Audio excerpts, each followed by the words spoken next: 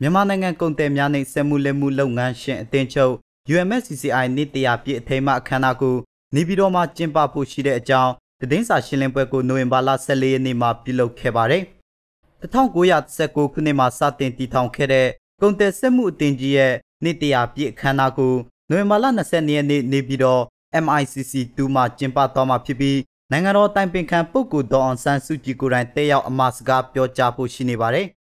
ကျွန်တော်တို့နောက်ပိုင်းမှာအသင်းချုပ်အနေနဲ့စဉ်းစားတာကုန်သည်စက်မှုအသင်းချုပ်ဒီပုဂ္ဂလိကကဏ္ဍကို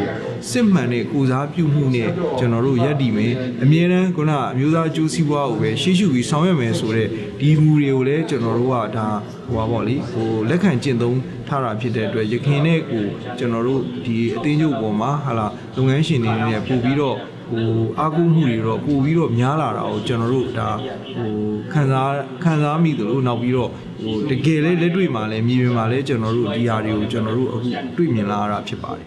။နှစ်တရာပြည့်အခမ်းအနားမှာကမ္ဘာလုံးဆိုင်ရာစီးပွားရေးနဲ့မီဂါထရန်မြမစီးပွားရေးနဲ့အနာဂတ်လာလာများစစ်မှုအသွင်ကူးပြောင်းရေးစတဲ့ခေါင်းစဉ်တွေနဲ့အတူဆွေးနွေးပွဲတွေလည်းပြုလုပ်သွားမှာဖြစ်ပါတယ်။မြန်မာနိုင်ငံအနေနဲ့ရှေ့လျှောက်ကြုံတွေ့ရမယ့်စီးပွားရေးအလားအလာတွေကို ကြိုတင်ပြင်ဆင်ထားရမယ်လို့ UMSCCI ဒုဥက္ကဋ္ဌဒေါက်တာမမောင်လေးကပြောခဲ့ပါတယ်။အမေရိကန်နဲ့တရုတ်နဲ့ကုန်သွယ်မှုစစ်ပွဲတင်းမာမှုနိုဝင်ဘာမှာထိုးမယ်ဟာဒီဇင်ဘာမှာထိုးမှာတော့ဖြစ်လာတယ်။အထိုက်အလျောက်သူပြောင်းလဲလာတဲ့ပုံစံမျိုးကိုမြန်မာနိုင်ငံအနေနဲ့ပြင်ဆင်ထားဖို့လိုပါတယ်။ဆိုတော့ဖြစ်လာတဲ့အပြောင်းလဲကို ကုန်သွယ်မှုရဲ့ရင်းနှီးမြှုပ်နှံမှုတွေကမျိုးမျိုးပြောင်းလာတော့မယ်။ဒါကိုပြင်ဆင်ထားနိုင်ဖို့ကိုကုန်သွယ်ဆက်မှုအသေးချုပ်အနေနဲ့ဟာ proactively ပေါ့နော်ကြိုမြင်တဲ့ဟာ